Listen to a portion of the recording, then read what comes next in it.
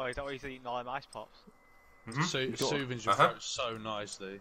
Why does your throat need soothing, Gareth? Uh, sucking too much cock. Wait, 'Cause I haven't been round to.